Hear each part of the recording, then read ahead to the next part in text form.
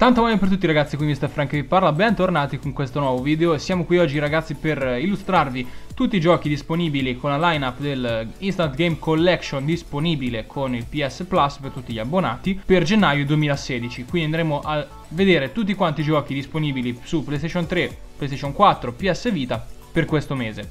Partiamo subito con Hardware Rivals, un third person shooter ambientato però su veicoli, quindi come vedete avremo la possibilità di utilizzare eh, tutti i veicoli più strani possibili e appunto l'obiettivo sarà quello di uccidere tutti i nemici, quindi diciamo un deathmatch in cui eh, anziché usare soldati useremo veicoli. Sembra un gioco molto molto dinamico, molto colorato, quindi sarà molto divertente provarlo. Sembra un titolo davvero promettente. Abbiamo poi un gioco che forse molti di voi non lo conosceranno, ma che per i fan di vecchia data, insomma per i giocatori di vecchia data, è sicuramente una bellissima notizia perché abbiamo il ritorno di Grim Fandango nella sua versione rimasterizzata, era stata annunciata qualche edizione scorsa dell'I3 in cui appunto aveva fatto grandissimo scalpore e finalmente c'è la possibilità di rigiocare questa avventura grafica in versione eh, rimasterizzata appunto gratuitamente per questo mese. Passando poi a parlare di PlayStation 3, i giochi che vi ho appena citato erano per PlayStation 4, abbiamo due bei giochi che sono rispettivamente Dragon Age Origins, ormai titolo abbastanza vecchiotto, tra virgolette, ma comunque di certo molto molto valido. E inoltre abbiamo un altro bel gioco del tutto rispettabile, appunto, che è Medal of Honor Warfighter, prodotto da EA, cugino di Battlefield, perché appunto sempre della stessa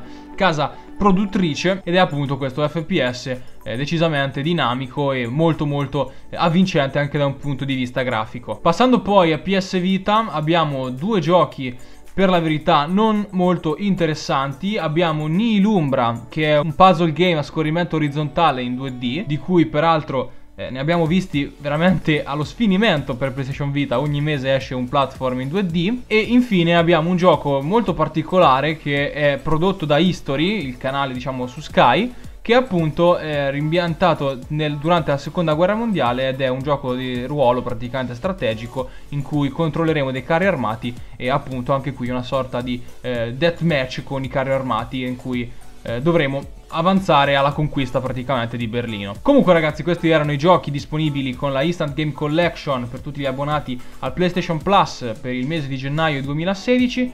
Fatemi sapere con un commento le vostre impressioni su questa lineup, fatemi sapere cosa vi aspettavate se siete soddisfatti o meno.